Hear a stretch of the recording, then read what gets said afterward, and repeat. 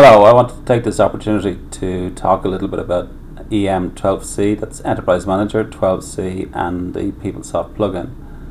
If you've seen 12C, you'll recognize the standard landing page, which is um, to some extent the dashboard and opening dashboard. But we're more interested in the, uh, for this talk, we're interested in the PeopleSoft targets. So we go to targets, and PeopleSoft. You can see here the expanded uh, set of targets in this PeopleSoft environment. In this case, we have a small People Tools environment uh, under the uh, prod designation. We could have multiple designations, prod, test development, and we could have multiple environments, finance, HCM, CRM, ELM, and multiple instances of those environments. We can see here that the, uh, we're fortunate enough that all of these targets are up and running and if I open the application server domain you can see on the home page for the application server domain. It gives us the links uh, to both the database it lets us know the uh, operating system of the uh, or the People Tools version and the People Tools uh, uh, release version. And this here then is important because it contains the GUID for the database I can go to the uh, performance tab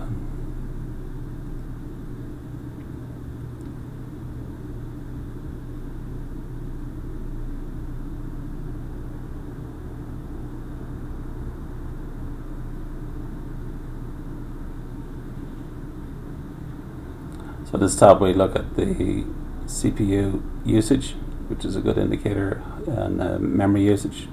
These are standard panels that you'll see on pretty much all of the home pages or all of the performance pages for all of the targets. But the application server specific um, panels are the, uh, the number of queued processes. These are the sort of things that customers would look at uh, on a fairly regular basis to see how the system is performing uh, using PS admin. And I'll show you that in a minute. So again, this is a fairly quiescent system at the moment, so we don't have too much data in these panels. If we go to the administration tab, you'll see things that are more familiar to you if you're running uh, a PeopleSoft environment and using PS admin to collect data. So you have things like the uh, the queue status, which you can get from PS admin. This is a the text in this panel would be fairly familiar to most people uh, managing the uh, PeopleSoft environment.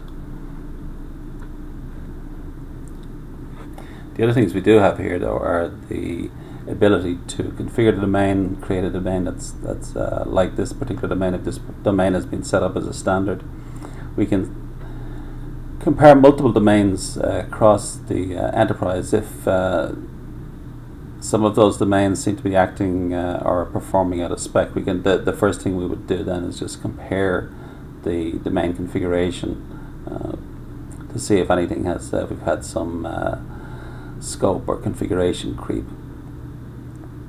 and then we have some ability to actually manage the domain, start and stop the domain, uh, cleaning the IP resources. Most people who've worked with PeopleSoft application servers will be familiar with the need for this task.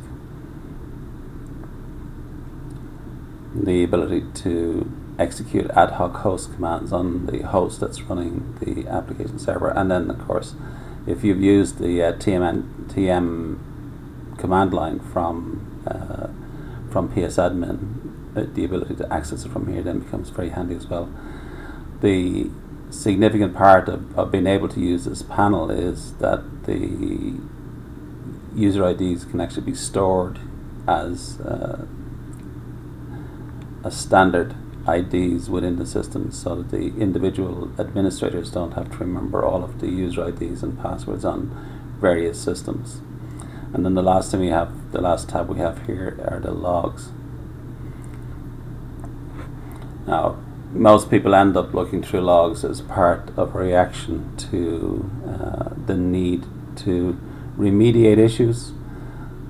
That tends to mean that logging on to the uh, the application server itself uh, using PuTTY or some other terminal access system, and then scrolling down or uh, going down through the the various directory levels to get to the logs. The ability to access those logs directly from here.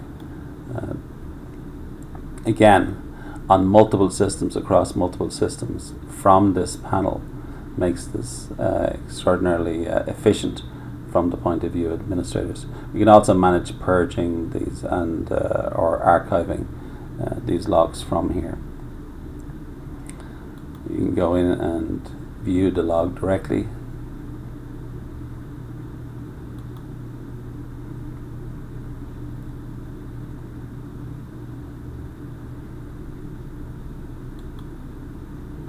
We also have the ability to effectively do a grep search on multiple logs at the same time so we can uh, check a log and add in a search string to, to search on that log. So we're looking for things like uh, uh, errors or warnings, uh, certificate errors, start times. Uh, we can put in the search for that string in here and, and fairly quickly come up with the 10 or 12 lines that we're interested in rather than trawling through hundreds of lines in the, in the log. As uh, an example, we can have a look at all of the metrics that are gathered uh, for the application server. And we can set uh, warning thresholds and critical thresholds against any of these uh, metrics to generate alerts back to the administration uh, team.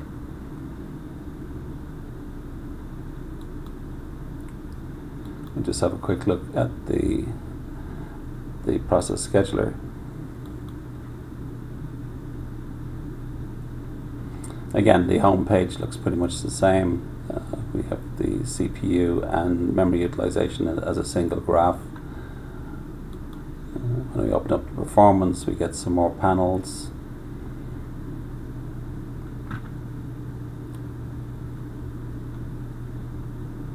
Again, any of these uh, can have alerts set against them in terms of the uh, critical and warning thresholds to send email or text messages to the uh, management staff, the administration staff.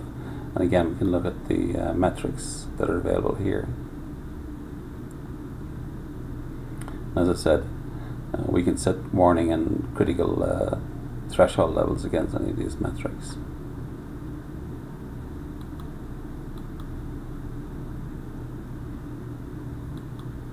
Again, on the administration page, we have, similar to the application server, we have a number of uh, quick links uh, into the uh, into the system, including we can set up the URL in the uh, the P URL to get directly to the process scheduler.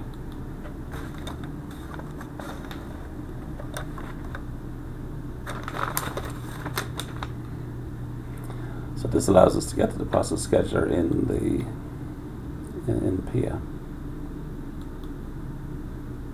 And again, as with the application server, we can uh, do a quick link to the uh, process status and the queue status on the process scheduler.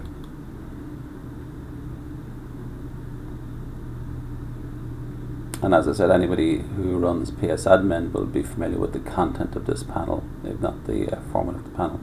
But the important thing to remember is, is that this panel is available directly from this single interface across all of the instances of, uh, of process scheduler domains and application server domains.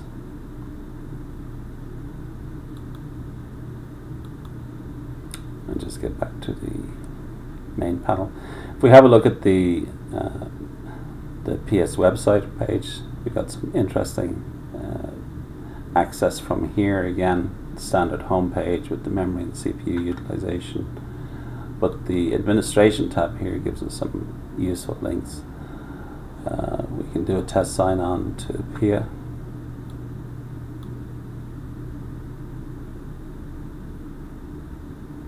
If I didn't have my pop up already.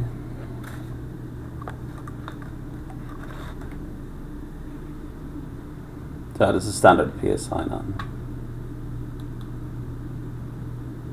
Just close that window just to show that the link goes directly to the window.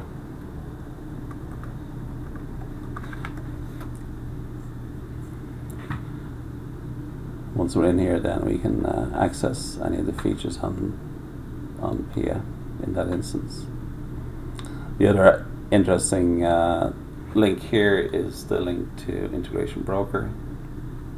So again, we can uh, we can do some analysis on the outstanding messages, the uh, typical integration broker uh, type administration that we need to do from uh, from a, from a PIA page.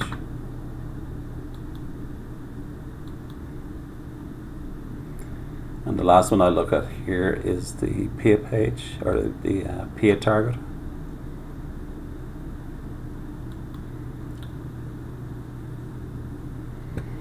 And again, going back to the uh, administration tab here, we can look at a number of, uh, again, interesting links. We can start and stop here from here. We can uh, add additional uh, PeopleSoft sites.